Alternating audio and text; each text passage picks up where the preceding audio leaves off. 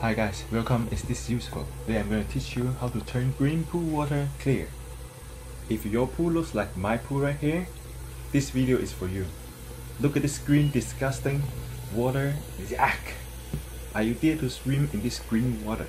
With baby mosquito and mosquito eggs. After watching this video, you will know how to turn green pool water to clear water. After remove surface debris, first you need to test your pool water. This will help you identify the specific issues causing the green water of your pool.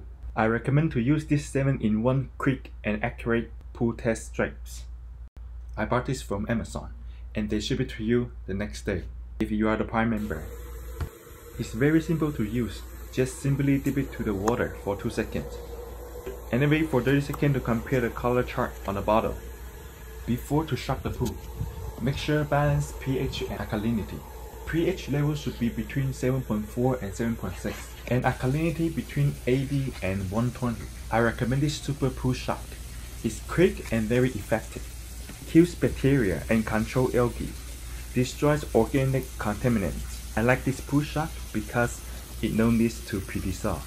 Just simply apply the Pool Shock around the pool area. As you can see what I am doing here. I have a 20,000 gallon pool to get rid of this green water, I need 4 bags of this Super Shock. If you are using other kind of Pool Shock product, make sure you follow the instructions on the Pool Shock product you are using, and make sure to use the recommended amount based on your pool size. Next, you can use pool brush to scrub the wall, floor, and other and any other affected area of the pool. This will help loosen the algae and make it easier for the chemical to work. Run the filter overnight. The filter will help remove the dead algae and other debris from the water. Backwash and clean the filter a few times until you don't see any more debris in the filter. As you can see the dead algae and the debris come out from the bottom of the filter. It looks gross and smell very badly. Here is two days later. My pool looks still green and very cloudy. So I have to retest the water to check the pH, alkalinity, and chlorine level. And then I repeat the shock again. So as my pool size, I need to use 4 bags of the Super Pool Shock. Here is the result in the next day. As you can see, still blue, cloudy, but a lot better than few days ago. So at this point, I need to test the water again and see the chemical level.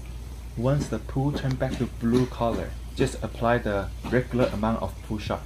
As my pool size, I just need one or two push-ups as enough.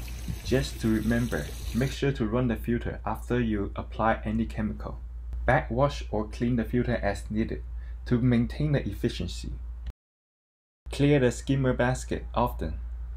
I recommend to get this skimmer pre-filter socks.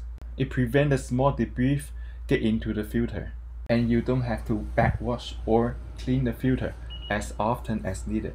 Just simply cover the skimmer basket just like this and put it back, then you're good to go. And I also highly recommend this Arm & Hammer Clear Balance. Just one step to maintain your pool and pH level. For my pool size, I need to apply 2 to 3 tablets each week. Apply the tablet weekly. You don't have to worry about your pool pH and alkalinity.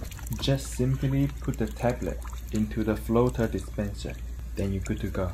Alright, after you've watching this video, I hope you learned how to turn green pool water to clear water. If this is useful to you, make sure you like and subscribe. I hope you enjoy the pool and have a great summer.